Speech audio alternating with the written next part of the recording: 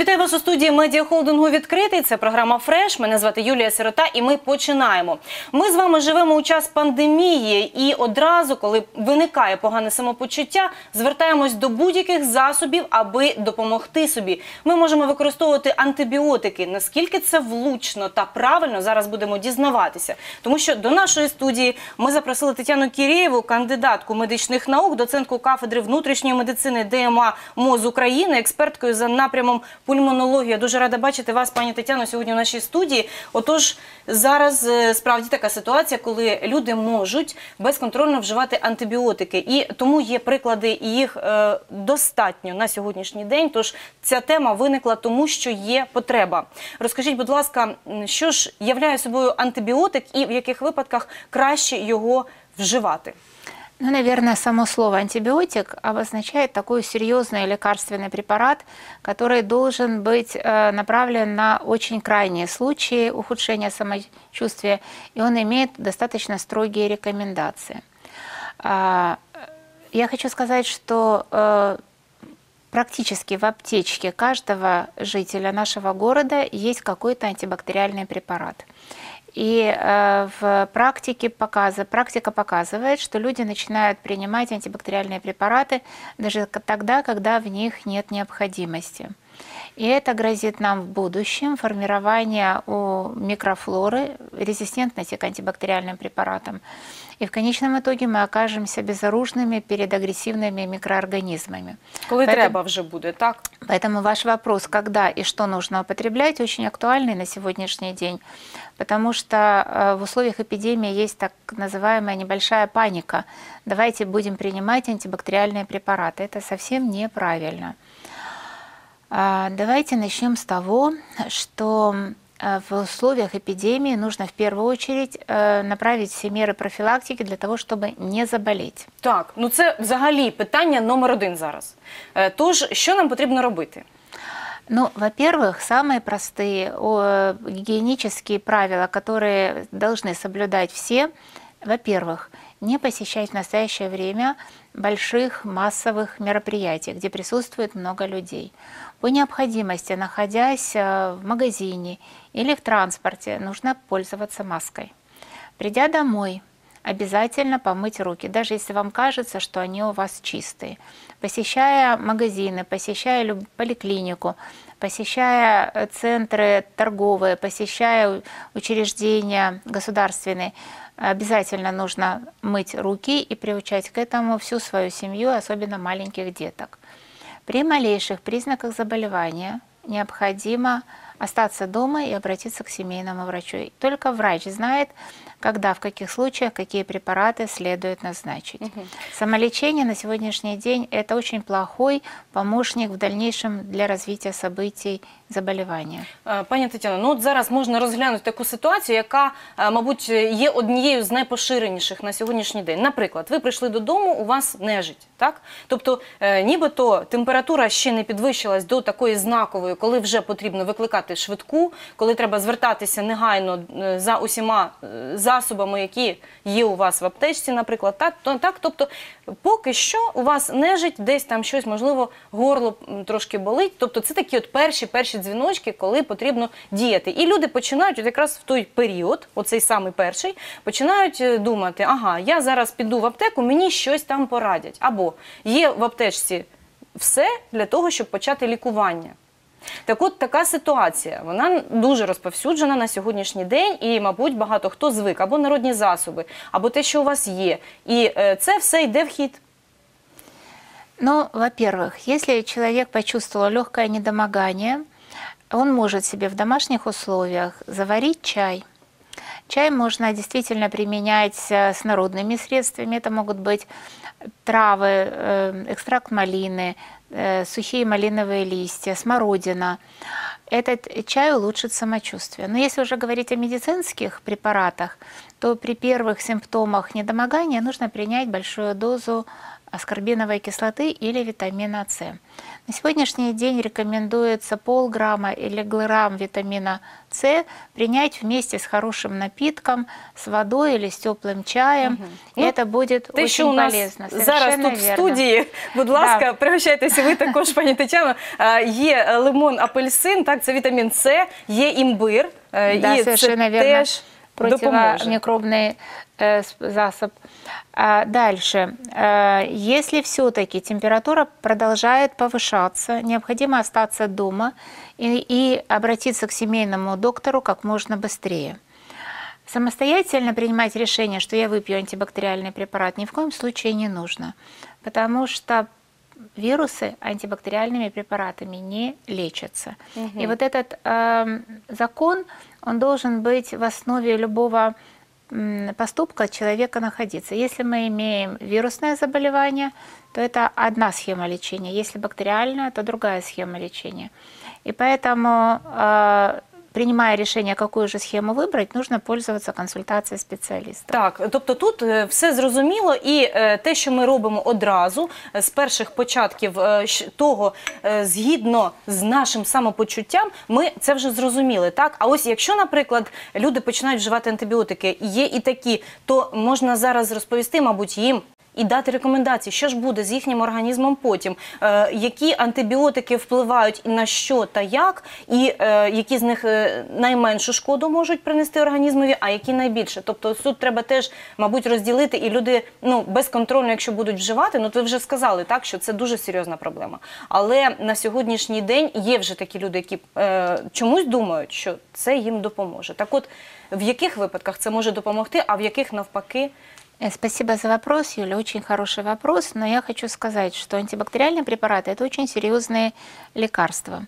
И э, самостоятельно принимая их, мы можем привести к огромному количеству нежелательных побочных эффектов. Ну, например, все знают, что принимая антибактериальные препараты, мы можем повлиять на флору кишечника и вызвать так называемый дисбактериоз.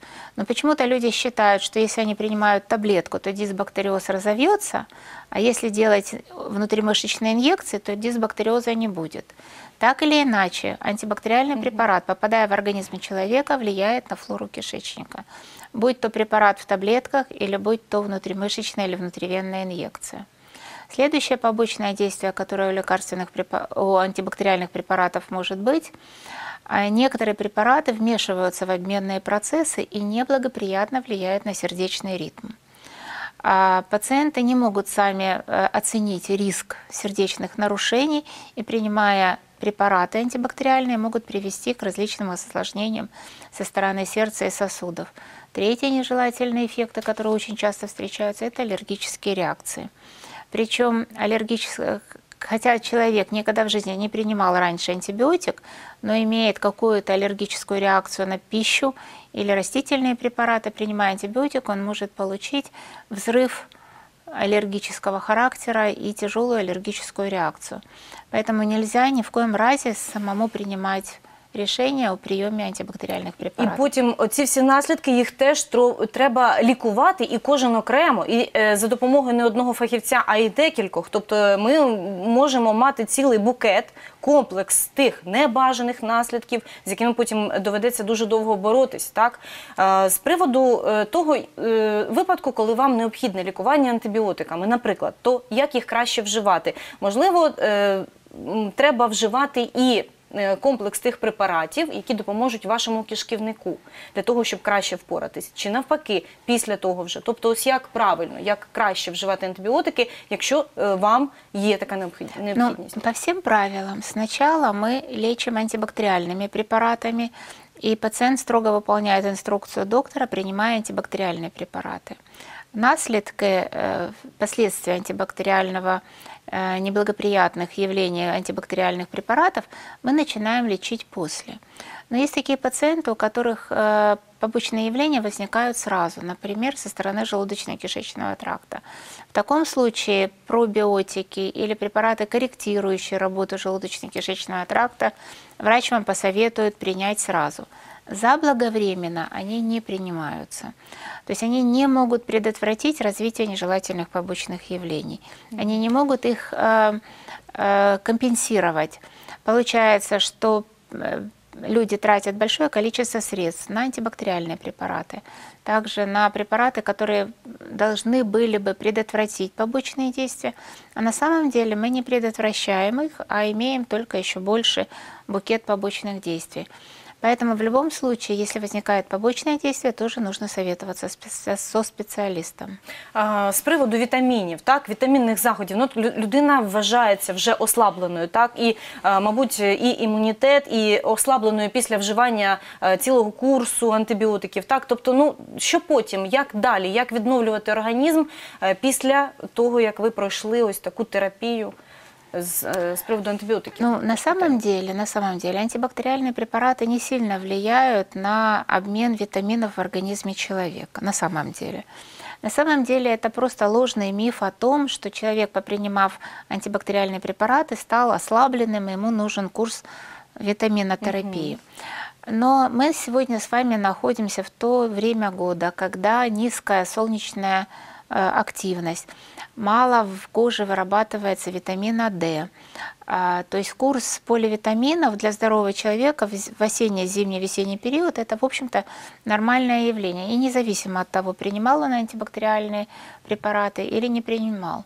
Например, э, в протоколе по лечению на сегодняшний день коронавирусной инфекции на первом плане стоят комплекс витамин С, витамин D и цинк, как э, витамины и микроэлементы, способные повысить собственный иммунитет пациента. И с него, в общем-то, начинают семейные врачи в лечении вирусного заболевания, которое на сегодняшний день широко распространено не ожидая конца заболевания. То есть это первый этап. С помощью этих э, витаминов и микроэлементов можно не допустить серьезного развития вирусной инфекции. Угу. Тобто це тільки такий початок, так, і вже потрібно вживати. А е, кількість е, це вже залежить, мабуть, від е, е, самої людини, так? Да, Скільки? э, возраста человека, состояния организма человека. Это зависит от, э, ну, на- назначается это всегда э, желательно даже профилактически принимать, но если уже э, начало заболевания произошло, то сроком на 10 дней. Потом по самочувствию пациента принимается решение либо продолжать курс антибактериальной терапии, либо сделать перерыв. Никогда они не назначаются на все время. Угу. Пані Тетяно, з приводу ем, ось е, такого комплексного лікування ковід на сьогоднішній день хотілося б запитати вас, які існують протоколи і які з них показали вже гарний результат? Чи вам е, відомо ось як саме потрібно лікуватись? Е, Можливо, вже лікарі визначилися? Инфекция, э, вирусная инфекция, коронавирусная инфекция, она на сегодняшний день для всего мира, для всех специалистов, это как новая. И мы, по сути дела, с апреля месяца постоянно работаем в, тесной связи с э, киевскими коллегами, с Министерством здравоохранения. И в нашем регионе мы имеем самые современные протоколы по лечению коронавирусной инфекции. Так вот, э, в лечении коронавирусной инфекции есть строгое место антибактериальных препаратов. Это совсем не первый этап в назначении медикаментозной поддержки пациента при коронавирусной инфекции. Это только осложненные случаи коронавирусной инфекции, когда доказано присоединение бактериальной инфекции. Как правило, это пациенты средне-тяжелого или тяжелого течения. И в данной ситуации, опять же, мы, э, есть четкий регламент, с какого антибактериального препарата мы начинаем терапию, как мы их меняем, когда мы заканчиваем. Это все зафиксировано в протоколе, и наши клинические учреждения следуют этим протоколам. Ну тобто є вже позитивні результати, які показали ну, так. От саме е, такий протокол він дав найбільше позитивних результатів, так і тому його прийняли вже е, Совершенно до, верно. е, до лікування Да, е, таких совершенно хворих. верно. Он широко внедряется в практику. И есть наш Днепропетровский, Днепропетровского региона оновленный протокол, когда мы пользуемся всеми-всеми современными э, методами подхода к лечению коронавирусной инфекции. Е, На сьогоднішній день скільки може тривати відновлення е, після е, ось е, такого вірусу, який раніше взагалі не був нам відомий, так Е, і чи можна сказати зараз, що він впливає, наприклад, на на що? Так, тобто зараз дуже багато міфів. Я зараз не хочу навіть говорити, е, які саме, але е, ну просто їх багато, щоб людей не збивати не з пантелику. Хочеться просто дізнатися від вас, від е, фахівця високого щабелю, що ж насправді є, чого остерігатися і як дбати про своє майбутнє. Но э, это сложный вопрос, потому что длительность э, э, протекания заболевания зависит, зависит от степени тяжести, от степени повреждения сосудов э, организма человека коронавирусной инфекции. Если это легкие и средне-тяжелые формы, ну, 2-3 недели это заболевание протекает, и э, для восстановления организма требуется ну, небольшое количество времени. Опять же, э, не, точно не называю сколько, потому что это зависит от исходного состояния организма. Если это тяжелые случаи, то заболевание может протекать несколько недель, даже месяцев. И у нас э, дальше есть опыт наблюдения за пациентами с тяжелыми осложнениями после коронавирусной инфекции. Тогда уже э, длительность заболевания исчисляется месяцами, и реабилитационный период тоже длится очень долго. Э, На сегодняшний день есть мнение о том, что мы не знаем всех тех еще наследков, которые могут нас ожидать после перенесенного коронавирусной инфекции. Поэтому вот внимательное наблюдение за своим здоровьем, своевременное обращение к специалистам поможет вовремя предотвратить различные неблагоприятные последствия вируса или даже лечение этого Е, заболевания. Пані Тетяно, ну от з приводу того, як е, потрібно звертатися, куди саме, е, як ви співпрацюєте з різними організаціями, так з обласним центром здоров'я, наприклад, так ми ось ще теж хочемо окремо е, присвятити е, цьому питанню ще е, теж декілька хвилин. Е, Тож, будь ласка, розкажіть, як, як саме все в- у нашому місті відбувається. Ну, на сегодняшний день у нас э, э, укрепляется первый уровень оказания медицинской помощи, и первое звено все больше и все внимательнее относится к настроению нашего нас- населения, к нашим гражданам, и старается внедрять все новое, то, что в практике э, амбулаторной появляется. Безусловно, э, реклама, безусловно, агитация здорового образа жизни, безусловно, пропаганда людям, как нужно себя вести в, этой случае, в этих случаях. Э, Конечно, присутствуют элементы у населения и панического состояния, когда э, в приемные покои обращаются люди со, с перепугом, вот у меня выявили коронавирус, как мне теперь быть? Мгм. А клинических проявлений заболевания так, в общем-то, и нет. Все больше доверия к первому уровню оказания медицинской помощи. Есть, безусловно, различные шероховатости и недостатки, но мы постоянно э, в тесном контакте работаем с департаментом здравоохранения и стараемся помогать э, первому уровню наладить работу с населением. Второй уровень – это стационарная помощь. Это уровень оказания помощи для более тяжелых пациентов. И на госпитализацию пациенты могут быть направлены семейным врачом или доставлены каретой скорой помощи, если состояние пациента такое, что требует неотложной госпитализации. Отказа в госпитализации на сегодняшний день нет. Э, Фраза «меня не могут положить в больницу» – это неправильная фраза. Э, В стационарной помощи получают все, кто в этом нуждается. А в некоторых случаях, в некоторых случаях пациенту действительно лучше находиться дома, если позволяет на это состояние. Э, И вот эти вот э, наши потоки пациентов, они регулируются. Если одна больница очень сильно перегружена, то потоки пациентов направляются в другое лечебное учреждение. Регулируются потоки тяжелых пациентов. Все это происходит в таком тесном контакте между подвижной службой, департаментом здравоохранения и э, первым и вторым звеном здравоохранения. Поэтому, конечно, э, безусловно, это общая проблема, и на борьбу с этой проблемой мы стоим рядышком, каждый имеет э, плечо, которое поддерживает друг друга, и, в общем-то, мы надеемся, что мы будем и дальше справляться с этой проблемой так же, как справлялись на сегодняшний день. Дуже дякую вам, пані Тетяно. Насправді хочеться вам побажати більше сил, здоров'я теж, е, щоб е, ви е, усю цю роботу, яку ви взяли на свої плечі, щоб вдалося, теж щоб це все скінчилося, врешті-решт, бо ми вже переживаємо вже другу таку серйозну хвилю. Сподіваємось, що все буде добре. І звичайно, хочеться, щоб люди не панікували в будь-якій ситуації, що б там не сталося. Але Дбати треба про себе, про своє здоров'я і тільки покращувати свій стан. Так бо паніка вона ніколи ні до чого доброго не призводила. Тому дуже дякую вам, пані Тетяно, за роз'яснення, за те, що ми е, сьогодні дізналися. Ми дізналися справді такі цінні е, поради. Не треба бігти і купувати усе, що вам пропонують, і те, що ви думаєте на свій погляд, адже погляд фахівця може дуже відрізнятися від вашого. Тому дуже дякую вам, пані Тетяно. Будемо раді бачити вас іще у нашій студії. Спасибо і большое. всім хочеться побажати міцного, міцного здоров'я. Всім здоров'я. Зустрінемось за декілька хвилин.